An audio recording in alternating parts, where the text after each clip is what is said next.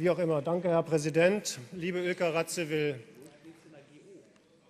ich äh, frage Sie, ist Ihnen in irgendeiner Art und Weise ein Dokument bekannt, in dem der Senat die von uns seit mindestens drei Monaten, seit wir seit der Sommerpause das Flüchtlingsthema hier diskutieren, der Senat transparent nachgewiesen hätte, welche Flächen, welche Büroflächen, welche Immobilien im Landes- oder im Bundesbesitz oder möglicherweise im Privatbesitz frei sind und besetzt werden könnten. Ist eine solche geprüfte Unterlage Ihnen bekannt? Solange das nicht bekannt ist, und uns ist hier im Hause nichts dergleichen vorgelegt worden, obwohl wir es in drei Debatten hier immer wieder eingefordert haben. Solange das nicht bekannt ist, gibt es keine wirkliche Begründung dafür, dass das Tempelhofer Feld alternativlos ist in dieser Frage. Und die einfache Behauptung des Senators hier, die einfache wortreiche Behauptung des Senators hier, ohne einen Beleg dafür zu bringen, ist, ist einfach unangemessen, wenn es hier heute darum geht, ein Volksgesetz zu ändern. Und liebe Oh, da ist auch Ihr Stift noch runtergefallen, den Sie hier vergessen haben. Liebe Frau Kollegin Ratziwill, Sie wissen ganz genau, und das ist einigermaßen unanständig, uns vorzuwerfen, dass wir dieses Thema auf dem Rücken der Flüchtlinge austragen wollten. Sie wissen ganz genau, dass wir seit Jahr und Tag, im Übrigen auch mal gemeinsam, Frau Radziwill, sehr engagiert waren in der Flüchtlingsunterbringungsfrage und in der Frage dessen, was Ihr regierender Bürgermeister in der letzten Regierungserklärung als politische Linie ausgegeben hat.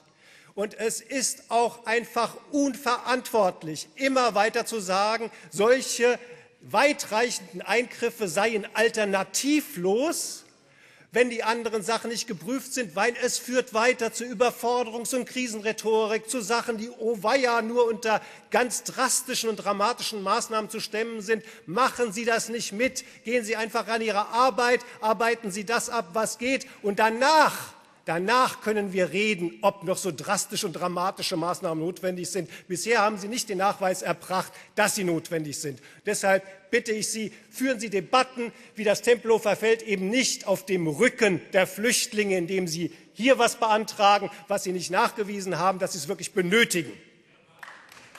Frau Kollegin Radziwill, Sie haben die Möglichkeit zu antworten.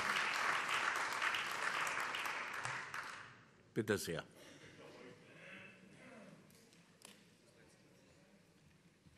Lieber Udo Wolf, ich weiß, wir gemeinsam kämpfen im Interesse der Menschen, die geflüchtet sind, die Hilfe und Schutz bei uns suchen. Und genau das, was Sie hier so lautstark und energisch eingefordert haben, habe ich eigentlich in meiner Rede auch dargestellt. Ich zitiere mich gerne selber. Dabei ist uns wichtig, dass die zuständigen Senatoren alle Möglichkeiten, alle in Frage kommenden Liegenschaften in allen Bezirken und in allen Wahlkreisen überprüfen. Das bedeutet ja auch, dass wir genau uns in den Ausschüssen anschauen wollen, welche Möglichkeiten sind bisher geprüft, welche werden noch geprüft. Und es geht sicherlich auch um Listen. Ich bitte aber, hier mit einer Offenheit in die Debatte reinzugehen. Und es ist auch meine, meine, Aussage, dass es eine Wahlkampfrede war, ging in Richtung Herrn Lederer und seine Rede fand ich schon sehr populär an der Stelle, populistisch.